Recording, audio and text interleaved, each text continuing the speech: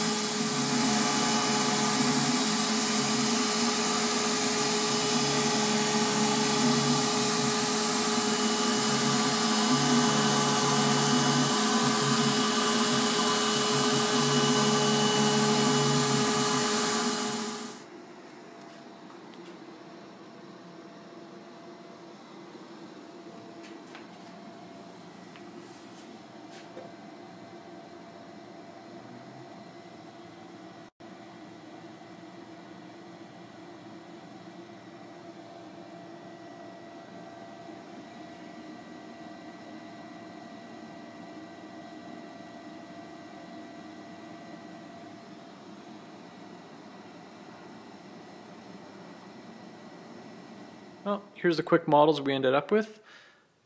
I have both a positive and negative of the same gear. That's actually the open hardware gear that I just brought into CAD and put some curves on it and some other stuff to kind of showcase what the machine's capable of.